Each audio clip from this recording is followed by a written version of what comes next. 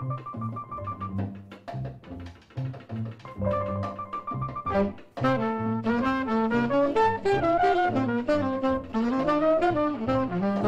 why uh, you are visiting Kenya? That's actually our honeymoon. Yes. Ah, okay. So, Uh, we wanted to. Uh, I'd never been to Africa, and uh, it seemed like a diverse country and so much to see, and the people are so friendly. Welcome to Kenya. Welcome to Kibera Tours. Kibera Tours is a, a local uh, tour company that uh, does most of the tours in Kibera.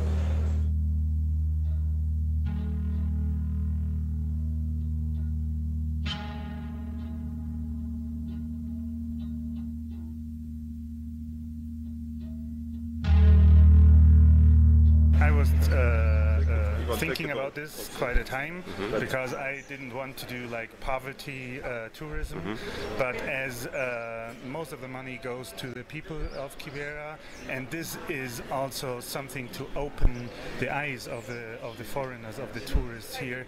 Uh, Kenya is not only uh, the coast with the pretty beaches; it's also uh, like uh, a a poor par- uh, part of the country. So I think uh, if you want to really get an impression, we have to get an impression of the how the country really is. Uh, this belongs uh, together.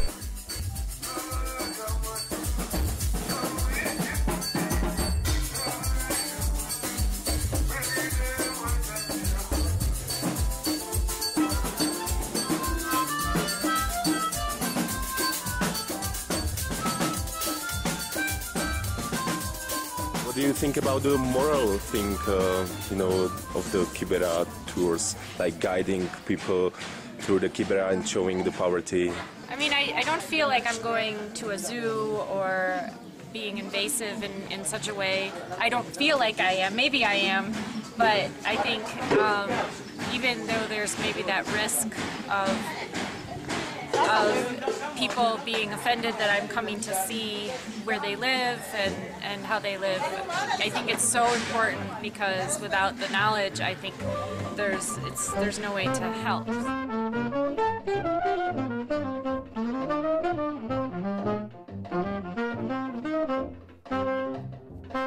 We are here uh, nearby the Kibera. Uh, Kibera is the biggest slum of uh, of Africa and uh, it's second largest slum in the world. So now we are having uh, the tour to Kibera with, uh, with these guys, with Freddy and with Richard. Is behind me over there. And uh, we have one German tourist. He's really curious to uh, to see uh, how the people lives here and uh, what is it about. So let's see how the Kibera looks like and what is interesting here.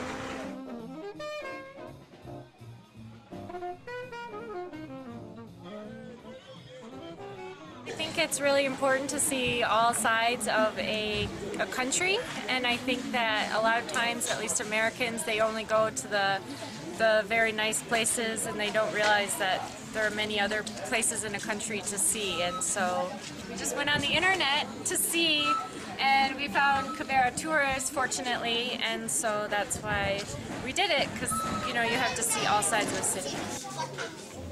Now we are on the main road, um, which leads through Kibera, and um, it's a very important road because um, many buses crossing here, and the people are waiting here to get to get uh, to their jobs, uh, which is in the center because many people from Kibera are working in the center.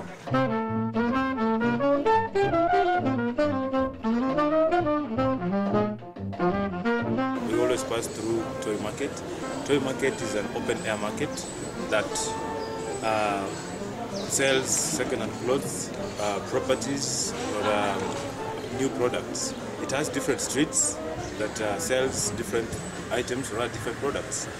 For example, we'll have um, streets that sell uh, the, the second-hand clothes. We have streets that sell uh, new clothes, we have streets that sell shoes, we have cereals, we have the uh, vegetables, and everything like that.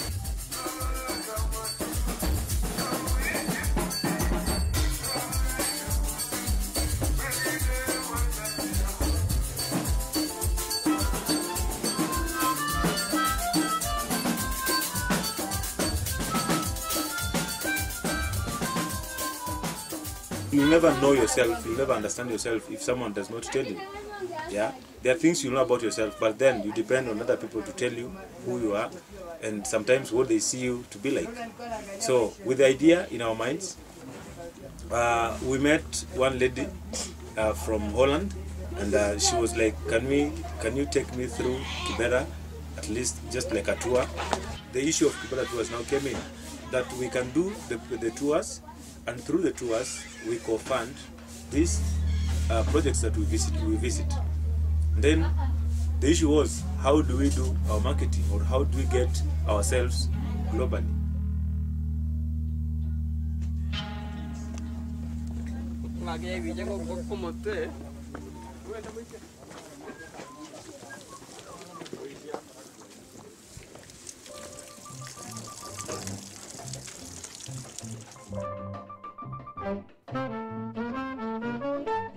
Next point of visit is the Matunza Children's Center. Matunza Children's Center is a center incorporated with a school and an orphanage.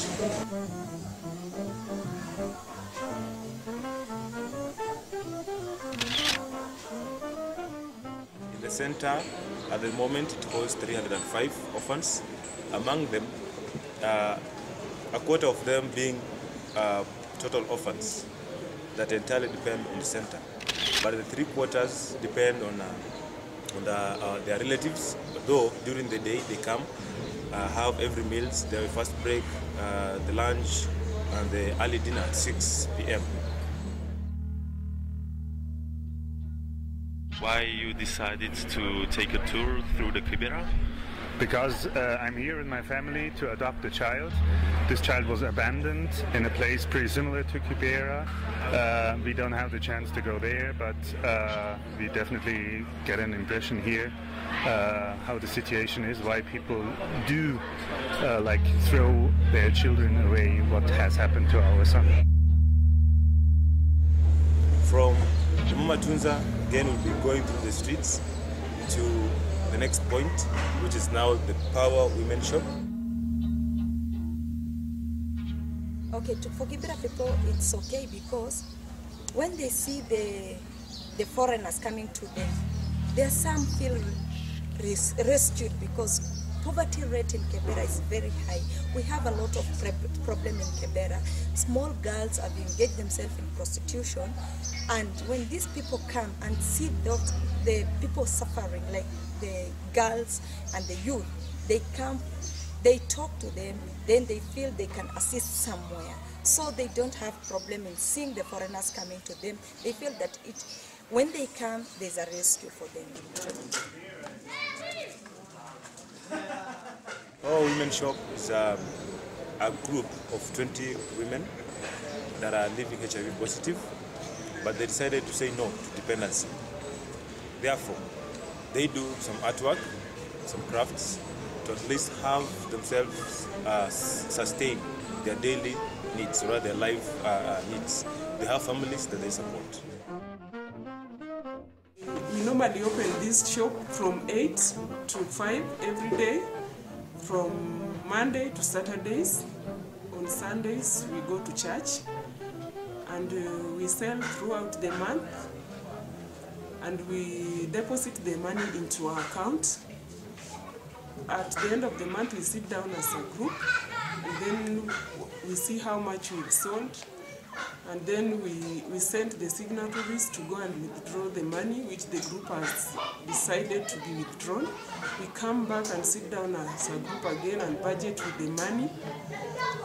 We put money aside for materials so that we can continue producing more products. We put money aside for food and the remaining money we divide among ourselves so that we can get money to pay rent, buy food and pay school fees.